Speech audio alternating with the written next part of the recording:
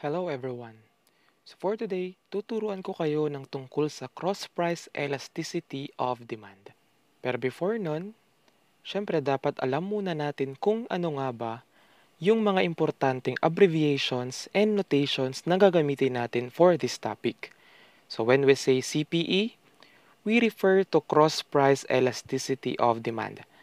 When we say OPE, we refer to the own price elasticity of demand. QXD means quantity demanded for X. PY is the price related of good Y. RX is the total revenue of good X. And RY is the total revenue of good Y. So let's begin. So don't forget to share, subscribe, and comment down below kung ano nga ba ang inyong mga natutunan or kung meron man kayong mga questions. So let's start with the definition of cross-price elasticity of demand. And that is to measure the responsiveness of the demand for a good, let's say good X, okay, sa changes ng related good, let's say good Y. And please take note na kapag ang CPE natin is negative, meaning yung X at Y are complement goods. Meanwhile, kapag meron naman tayong positive cross-price elasticity of demand, yung X at Y are substitute goods.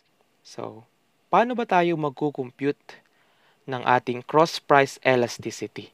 So, let's use this formula.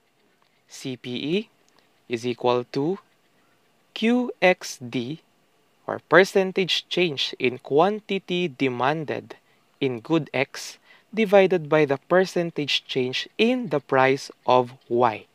So please take note, different goods ang involve sa cross-price elasticity of demand. So let's start with this example. Number one, the table shows price and demand for good Y and good X. So as you can see, the price of good Y decreases by 200 pesos and has an effect of 50 unit increase okay, in number of units sold. And for the good X, there's an also increase of 50 units. So what we shall do with these figures? So for this problem, we will compute the cross-price elasticity of demand for good X. So let's start with the computation of the quantity demanded or percentage change in quantity demanded of good X. So as you can see, we subtracted 300 by 250. So that's your change. From 250, naging 300 siya. So kukunin mo yung amount of unit increase by subtracting 250 from 300 and then we divide that with the old old demand for good X which is 250 to get the percentage change in quantity demanded for X which is 20%. And then next is we will compute the percentage change in price of Y. So for this problem, we deduct 800 with 1,000. So bakit natin ginawa yon? Kasi nag-decrease. Nag-decrease yung price from 1,000 to 800. Therefore, merong decrease na 200 pesos. And to know the percentage change, we divide the decrease which is 200 by the original price of good Y which is 1,000 pesos and we get negative 20%. Meaning, meron tayong decrease, okay, in terms of price with an amount or with a percentage of 20%. Therefore, the cross price elasticity of demand for good X is equal to 20% divided by negative 20% equivalent to negative 1. Okay, so let's take a look at another example ng ating problem. So let's read the problem. RealU Corporation's flagship phone device cost 35,000 pesos. To induce market demand, the company decided to cut the price offering by 3,500 discount. And this move resulted to a decrease in competitors' demand by 15%. So for this question, what is the CPE for this price range? So first step, we need to find the percentage change in quantity demanded. And that is, given in the formula, 15%. So take note na ang cross-price elasticity na kinukompute natin in this problem is the CPE of the competitor. Meaning yung sa kalaban. Okay? So next, our percentage change in price naman. So ang good Y natin dito is the good produced by RealU Corporation. Okay? The flagship phone device that, that costs 35,000. So, para malaman natin yung ating percentage change in price, we divide the decrease, which is 3,500, so negative 3,500, by the original cost, which is the 35,000 pesos, and we get 10% or negative 10% as percentage change.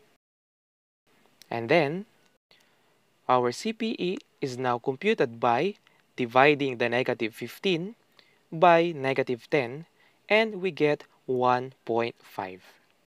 Okay? So, ang next topic natin is ano nga ba ang impact ng cross-price elasticity sa ating total revenue.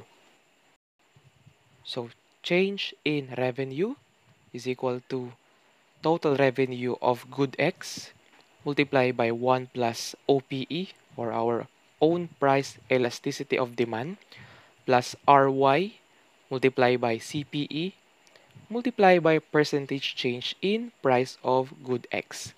Please take note na ang OPE na kailangan natin dito is yung own price elasticity of demand ng good X. Okay? So, hindi po yan good Y. So, para mas maintindihan natin, i-apply natin ulit siya sa isang problem.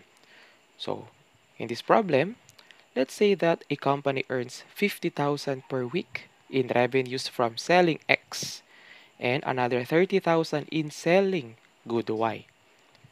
In this example, our own price elasticity of demand for good X is negative 0.5.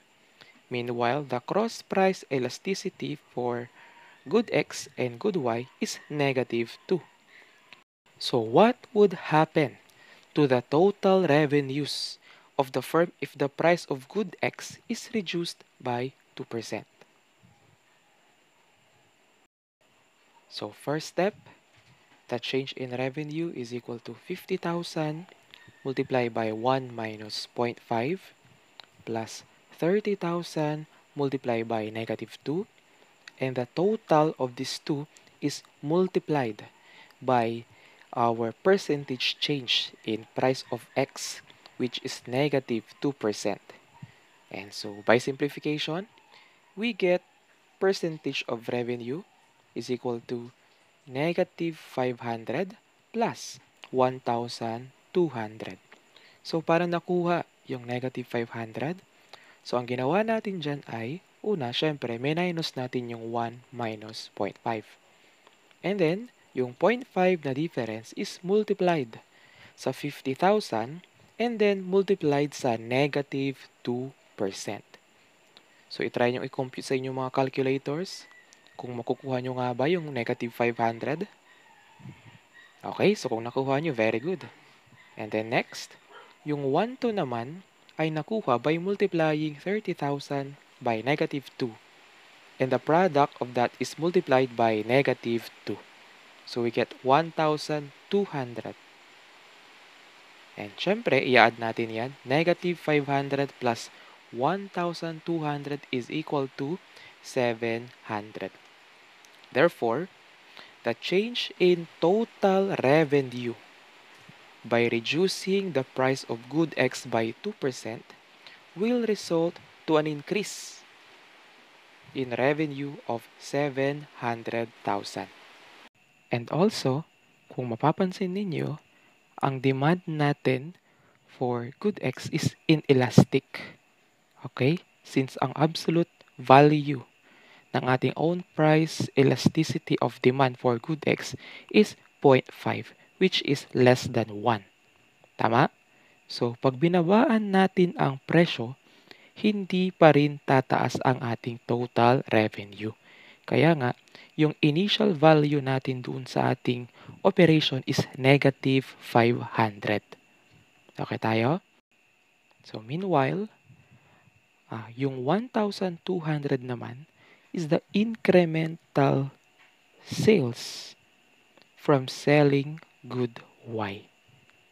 Therefore, we can say that the cross price elasticity is negative and so good X and good Y are complement goods. And that's how you compute and apply cross price elasticity of demand. Thank you for watching.